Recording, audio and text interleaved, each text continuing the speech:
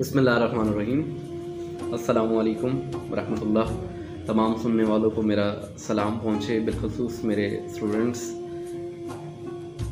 आज का जो हमारा लेक्चर है, वो है मकसद इंसानियत। इंसान का मकसद क्या है? देखें, दुनिया में जितने भी लोग आए, उन्होंने जितनी भी चीज़ें बनाई उसका एक मकसद रखा। है मिसाल के तौर पे मास्क बनाने वाला। इसने एक मास्क बनाया जो दस रुपये का मिलता है। इसका भी एक मकसद है। घड़ी। इसका भी एक मकसद है। टाइम दिखाती है, आपको टाइम बताती है। पंखा। इसका भी एक मकसद है। ये हवा देता है। जी, चेयर। इसका भी एक मकसद है। इस पर बैठा जाता है। किताब। इसका भी एक मकसद है। इस पढ़ा पढ़ा जाता है इसको। अच्छा इसी तरह बहुत सी मिसालें ऐसी हैं कि जो मैं आपको दे सकता हूँ, हर एक चीज़ का एक मकसद है। यहाँ से एक सवाल निकलता है कि अल्लाह ने आपको दो आँखें दी, दो कान दिए, एक नाक दिया, बत्तीस दांत दिए, जिगर दिया, खून दिया, पानी दिया, बाल दिए, औलाद दी, नेमत दिए, खाना, पीना, हर चीज़ दे दिया आपको। सर, क्या आपका कोई मकसद नहीं होगा?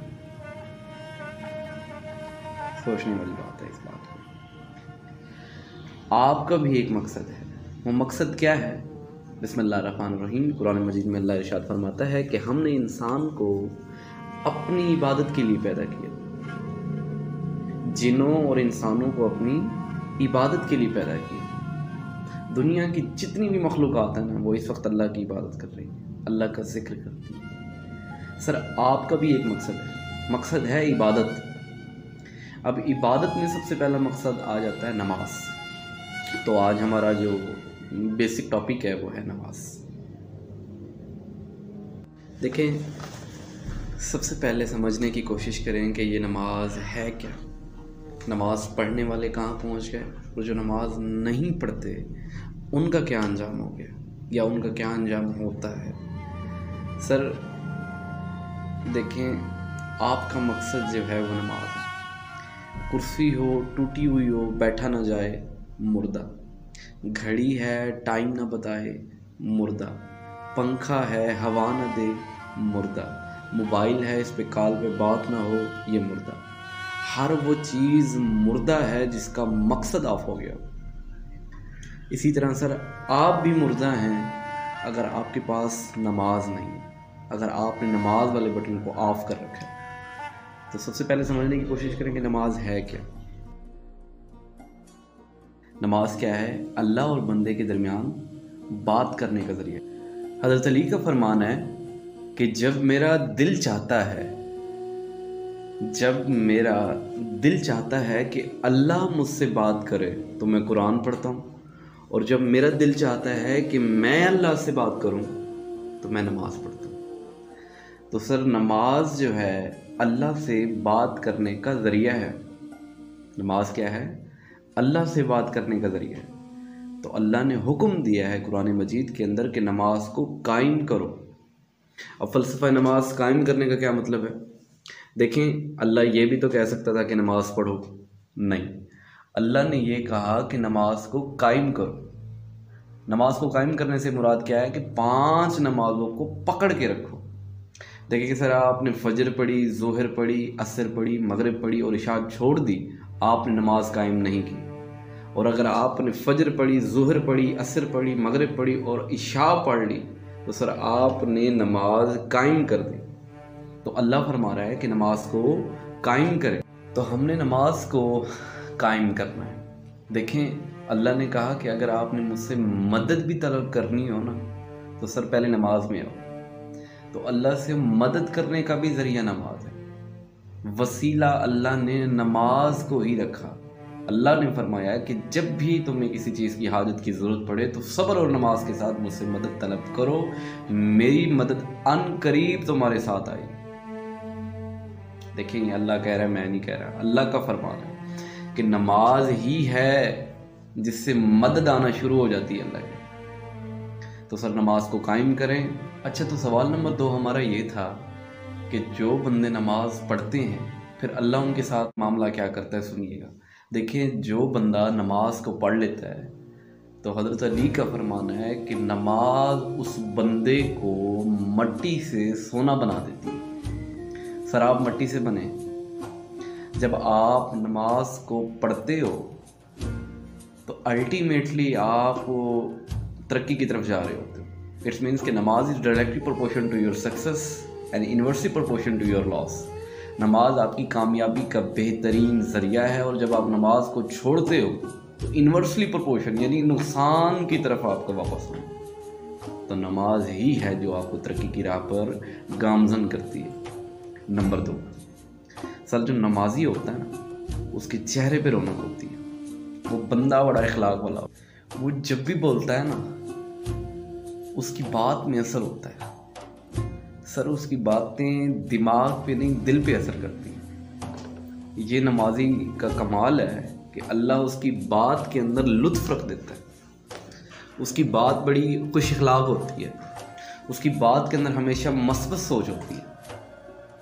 नंबर तीन, अल्लाह दूसरे बंदों के दिलों में आपकी इज़्ज़त डालना शुरू कर देगा।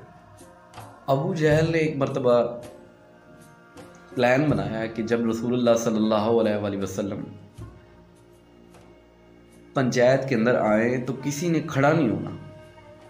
यह अबू जहल का प्लान था, लेकिन अल्लाह की करनी देखें, अल्लाह ने फरिश्ते नाजिल कर दिए और उन लोगों को खड़ा कर दिया जो बैठे हुए थे। देखें, ये नमाज़ नमाज़ नमाज़ नमाज़ ही है जो लोगों के दिलों में इज़्ज़त पैदा कर देती है। नंबर चार, सर, आप बेहयाई की तरफ़ नहीं जाएँगे। नमाज़ आपको बेहयाई से रोकती है। नमाज़ का सबसे बड़ा जो काम है इंसान की सेहत के ऊपर, इंसान के करैक्टर के ऊपर, इंसान के अमाल के ऊपर, वो इंसान को बेहयाई की तरफ़ रागब नहीं कर सकती। नमाज़ इंसान को बेहयाई से रोकती है। नंबर पाँच, वो बंदा कभी गुस्सा नहीं करेगा जो नमाजी हो। नमाज़ पढ़ने वाले के अंदर गुस्सा बहुत कम होता है, बहुत ज़्यादा कम होता है। वो बानस्बत दूसरे लोगों की जो नमाज़ नहीं पढ़ते। सर, नमाज़ से आपका गुस्सा भी कम होता है। नंबर छः है कि नमाज़ पढ़ने वाला बंदा हमेशा अपने परवरदिगार को सामने रख के काम करेगा। यानी ज़िंदगी के हर मामले में अपने परवरदिगार की नाराज़गी को और रजामंदी को हमेशा सामने रखेगा। कि जब भी वो काम करेगा, पहले सोचेगा कि क्या मेरा परवरदिगार इस काम से राज़ी होगा या नहीं होगा? और नंबर आठ ये है कि वो बंदा कभी झूठ ही बोलता। क्योंकि कुरान मजीद में है कि अल्लाह दो काम करता है। एक तो दरूद भेजता है, एक लानत भेजता है। लानत किन लोगों पे भेजता है? या जालिमों पे भेजता है, या झूठ बोलने वालों पे भेजता है। तो नमाजी बंदा कभी भी झूठ नहीं बोलता। उसके अंदर झूठ वाली कैफियत बहुत कम होती है।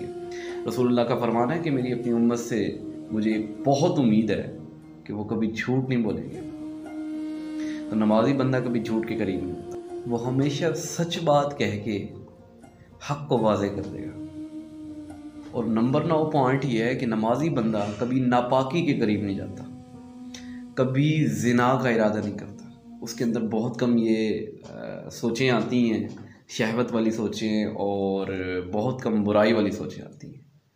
और नंबर दस पॉइंट ये है कि जब वो बंदा नमाजी इस दुनिया से रुखसत करता है तो सर उसे रूह कब्ज करने के दौरान ही उसका मकाम दिखा दिया जाता है। यानी जन्नत जन्नतफरदोस की उसे आ, सारी तजलियात दिखाई दी जाती हैं कि तुम्हारी मेहनत का फल अल्लाह ने जन्नतफरदोस में रखा ये है नमाजी का मकाम।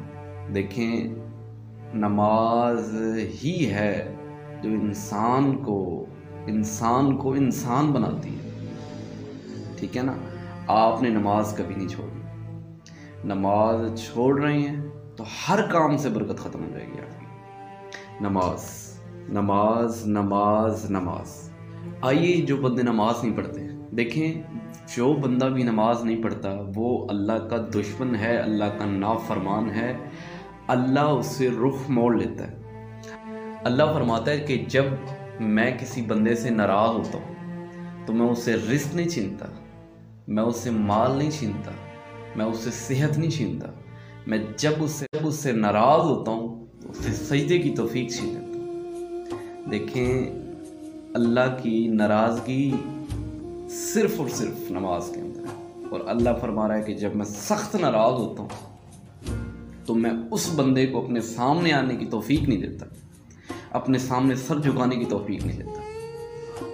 और दूसरा पॉइंट ये है कि जो बंदा नमाज़ नहीं पढ़ता, सर उसके चेहरे की रौनक नहीं होती वो जब भी बात करता है नेगेटिव बात करता है।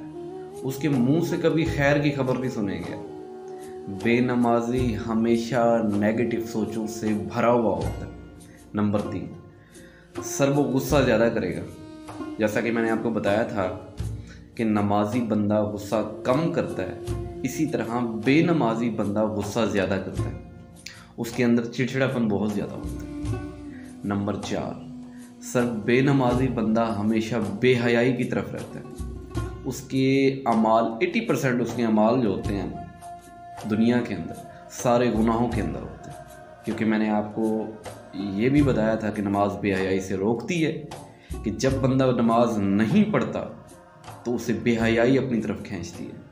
खींची चली जाती है। गुजरावाला का एक वाक्य मैं आपको बताता चलूँ कि एक बंदा बेनमाजी था। अल्लाह ने उसे पीप की बीमारी लगा दी। पीप जानते हैं आप लोग, जो पस वगैरह होती है, ज़ख्म से निकलती है। अल्लाह ने उसे पीप की बीमारी लगा दी। बढ़ते बढ़ते बढ़ते बीमारी उसके मुँह तक कहाँ पहुँची? उसके मुँह से पीप निकलना शुरू हो गई।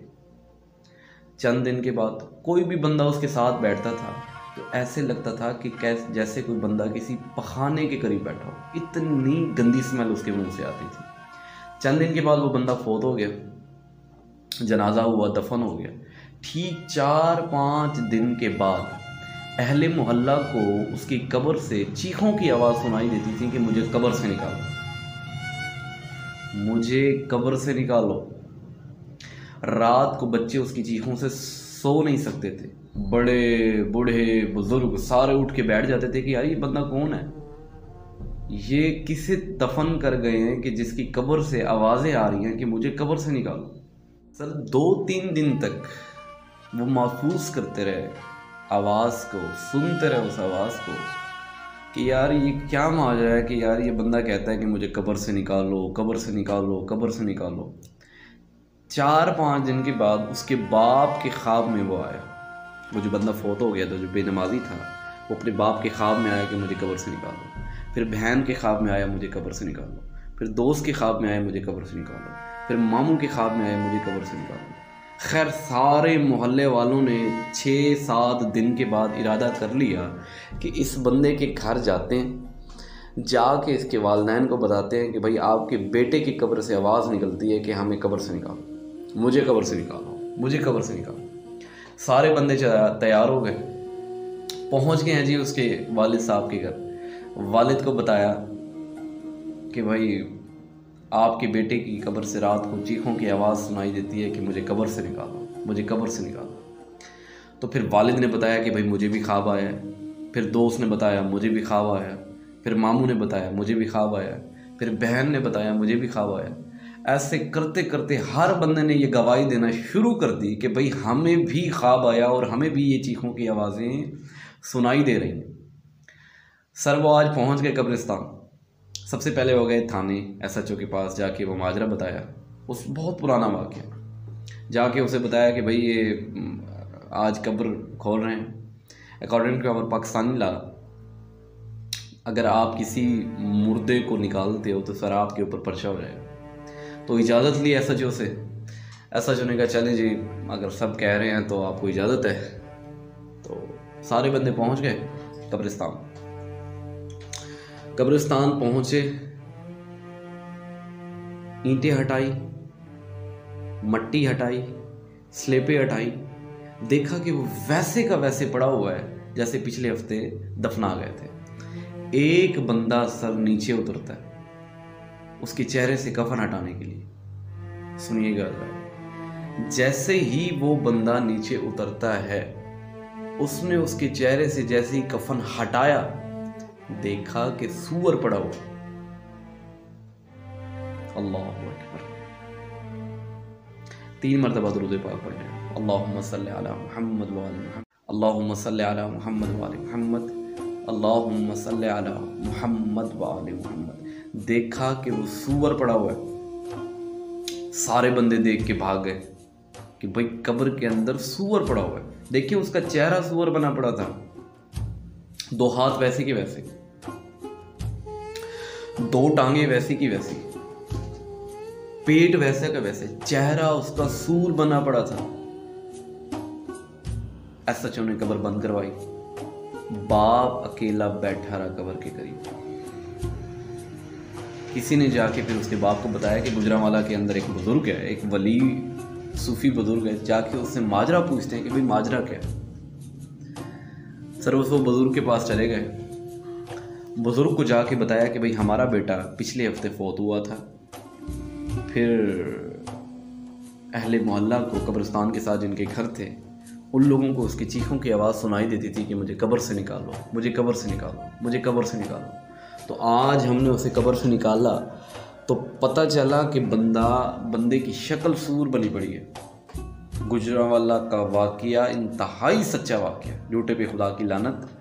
बुज़ुर्ग पाँच मिनट चुप करके बैठा रहा।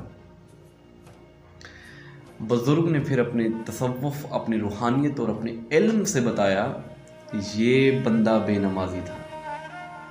हर बंदा चौंक उठा हाँ बेनमाजी? बेनमाजी का ये अंजाम, सारे बंदे काम उठे फिर बाप उठ के खड़ा होकर रोने लगा कि या शेख, या बुज़ुर्ग, या सूफी।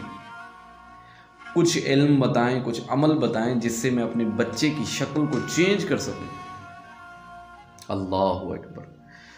तो उस बुज़ुर्ग ने बताया कि इसकी कज़ा नमाजें पढ़े। बाप ने घर जाके अपने बेटों को बताया उसकी वालदा को बताया, बहनों को बताया। सारे बंदे उसकी कज़ा नमाज़ें पढ़ने लगे।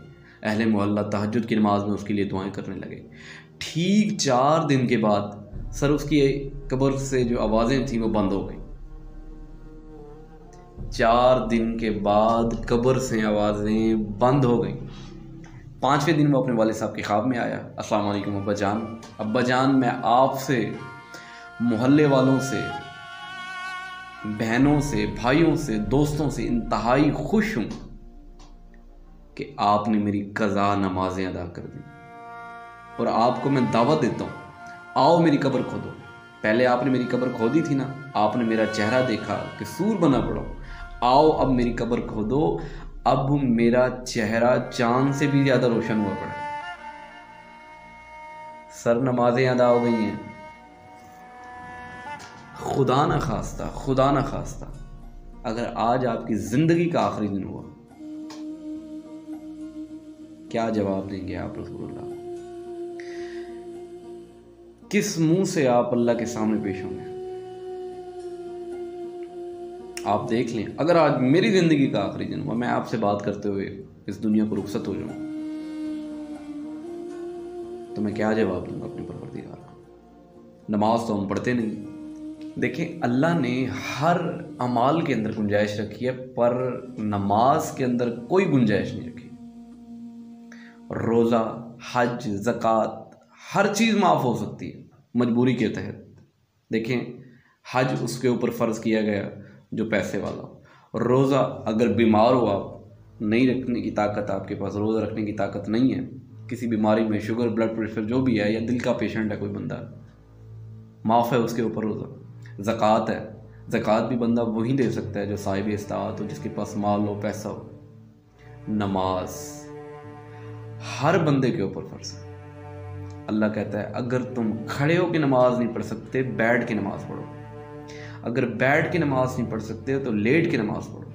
अगर लेट के नमाज़ नहीं पढ़ सकते तो इशारों से नमाज़ पढ़ो। अगर इशारों से भी नमाज़ नहीं पढ़ सकते तो सर दिल से नमाज़ पढ़वा लो लेकिन नमाज़ छोड़नी नहीं यार अल्लाह नहीं कहता कि सारा दिन मस्जिद में बैठे रहो। वो ये नहीं कहता कि सारा दिन मौलाना साहब मन की मस्जिद में बैठे रहो। नहीं, अल्लाह कहता है, पाँच मिनट फजर में आ जाए दस घंटे की छुट्टी तुझे फिर। पाँच मिनट फजर, देखें, सुन्नत पढ़ें, अच्छी बात है, लेकिन फ़र्ज़ को अदा करें। पाँच मिनट फजर में चले जाएँ, अल्लाह कहता है, दस घंटे की छुट्टी है तुझे फिर। पाँच मिनट जहर में आ जा।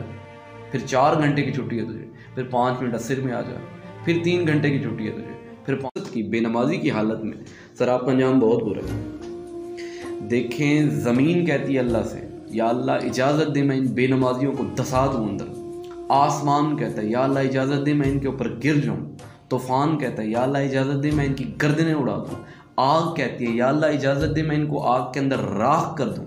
लेकिन अल्लाह कहता है, नहीं नहीं, मैं अपने बंदों के इंतज़ार में बैठा मैं इनकी तोबा के इंतज़ार में बैठा देखें, अल्लाह को राज़ी करें। दुनिया को राज़ी करें या ना करें, अपने परवरदिगार को लाजम याद आज आपको बेहयाई से नहीं रोक रही तो आपकी नमाज़ किसी काम की नहीं आप अपनी नमाज़ पे तवज्जो दें।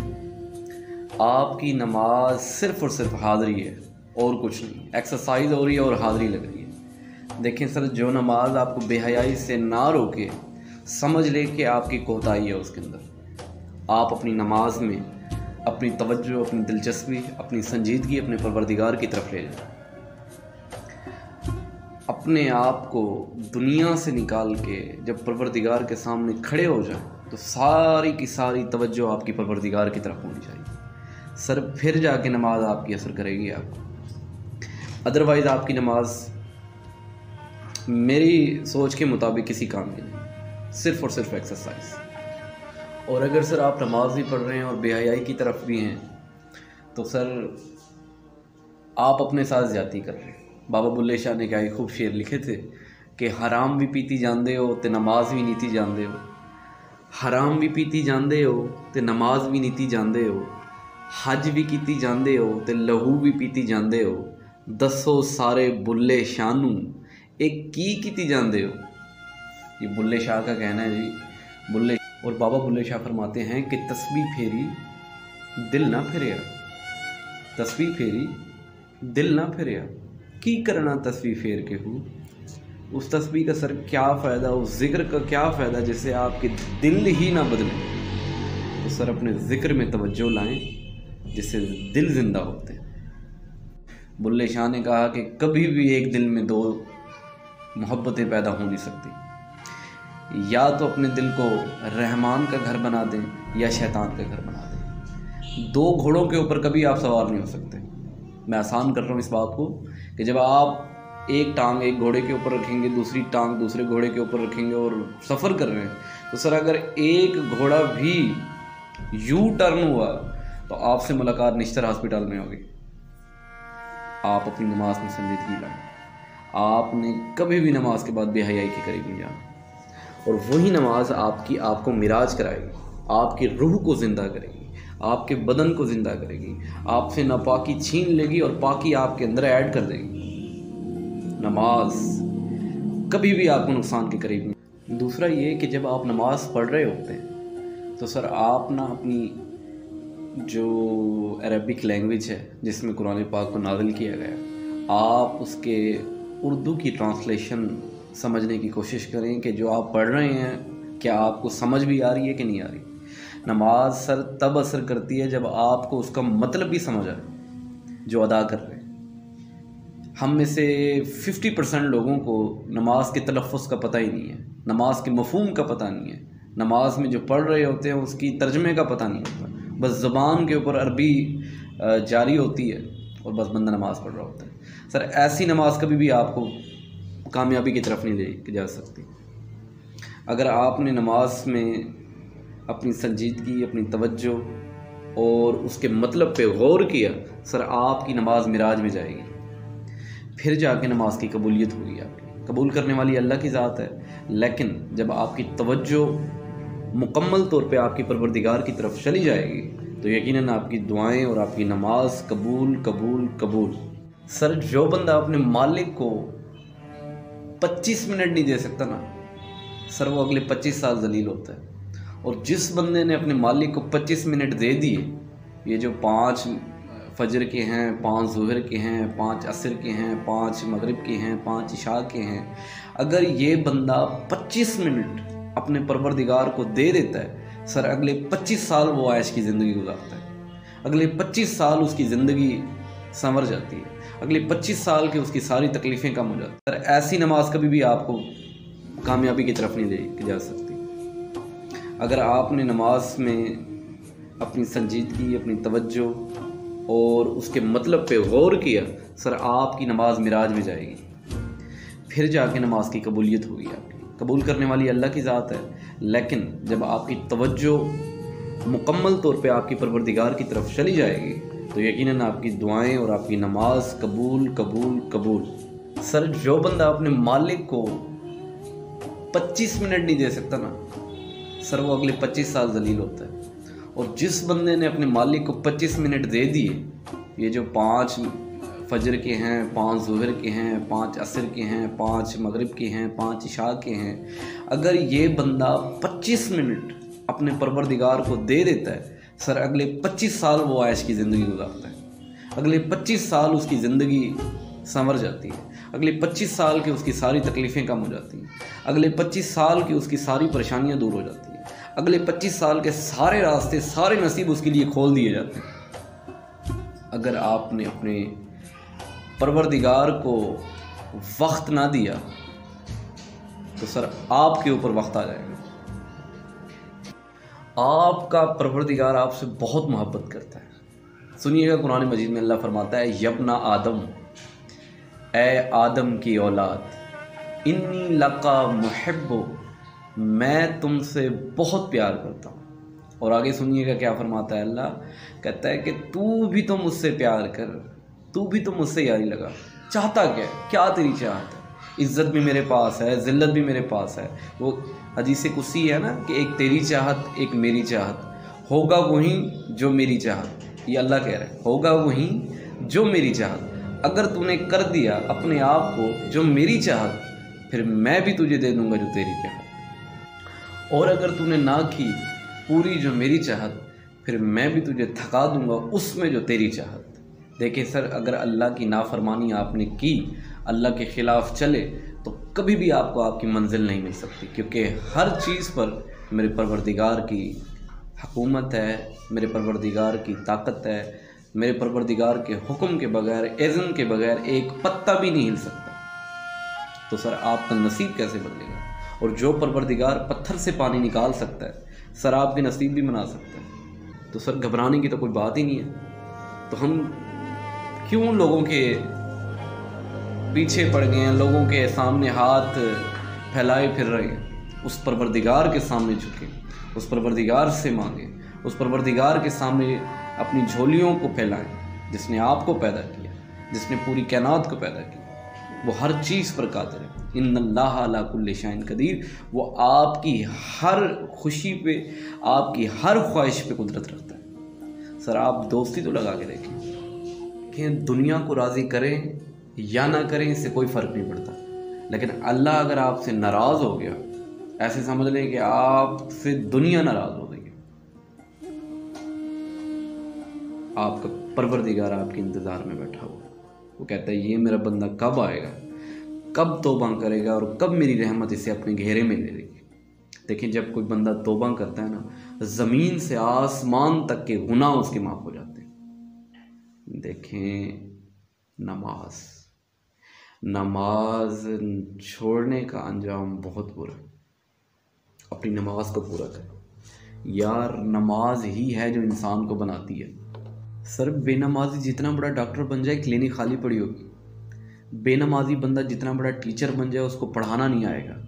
बेनमाजी बंदा जितना बड़ा वकील बन जाए, केस खाली पड़े होंगे उसके। बेनमाजी जितना बड़ा मोटिवेशनल बन जाए, लोग उसकी बात नहीं सुनेंगे। और बेनमाजी बंदा जितना बड़ा जज बन जाए, सर फैसले गलत करेगा वो बंदा। बेनमाजी बेनमाजी किसी काम के अंदर भी कामयाब नहीं हो सकता। बेनमाजी हमेशा नुकसान करेगा नुकसान करेगा नुकसान करेगा। देखिए आप क्या चीज़ हैं। अल्लाह कह रहा है कि अगर मैं आपकी दिमाग की एक छोटी सी वेन दबा दूँ ना, आपका काम पूरा हो जाता है। तो आप किस पर प्रतिकार के सामने बदमाशियाँ कर रहे हैं? किसके सामने अकड़ दिखा रहे हैं जिसने आपको पैदा किया उसके सामने? सर, नमाज़ कायम करें। नमाज़ कायम करें या आपका वक्त चल रहा है। देखिए जैसे एग्ज़ाम के अंदर एक वक्त होता है ना, आखिरी टाइम के अंदर आके सुप्रीडेंट कहता है, निगरान को भी पेपर छीन लो। तो सर, जब आपका आखिरी वक्त आएगा तो आपसे आपकी रूह छीन ली जाएगी। फिर आप निगरान को क्या कहते हो? जी, सर, दो, तीन सवाल रहते हैं, सर, मेहरबानी करें मेहरबानी करें। बस दो सवाल रहते हैं, मैं अभी, बस अभी दे देता हूँ, अभी दे देता हूँ। लेकिन नहीं, वो आपको एक मिनट की भी मोहलत नहीं देता और आपसे पेपर छीन लेता सर, इसी तरह इसराइल आपको एक कदम आगे जाने की मोहलत नहीं देगा और आपकी रूह कब्ज कर लेगा। और आप उस टाइम कह रहे होंगे कि या अल्लाह, दो दिन की इजाज़त दे दे, मैं सारा दिन सजदे करूँगा। सारा दिन मस्जिद में रहूँगा तहजद भी पढ़ूँगा, अदब भी करूँगा, अखलाक भी ले आऊँगा अपने अंदर। लेकिन अल्लाह कहेगा, नहीं नहीं नहीं टाइम इज़ ओवर सर, नमाज़ कायम करें। अपने बच्चों को नमाज़ की तबलीग दें। अपने घर वालों को नमाज़ की तबलीग दें। अपने दोस्तों को नमाज़ की तबलीग दें। अपने स्टूडेंट्स को नमाज़ की तबलीग दें। सर, नमाज़ पढ़ें। नमाज़ पढ़ें, इससे पहले आपकी नमाज़ पढ़ाई जाए। नमाज़ को कायम करें। नमाज़ ही है कामयाबी का रास्ता। नमाज़ ही है जिसको अल्लाह के रसूल ने मिराज करार दी। नमाज़ मोमिन की मिराज है। नमाज़ रसूल अल्लाह की आँखों की ठंडक है। जी रसूल अल्लाह की आँखों की ठंडक है। जो बंदा रसूल अल्लाह की आँखों को ठंडक देना चाहता है, सर वो नमाज़ पढ़ना शुरू कर दे। अब जिसके जी में आए वो ले इसे रोशनी। अब जिसके जी में आए, वो ले इसे रोशनी। हमने तो दिल जला के सरेआम रख दिया। दुआओं की अपील इन अगली वीडियो में आपसे मुलाकात होगी। अस्सलाम वालेकुम वरहमल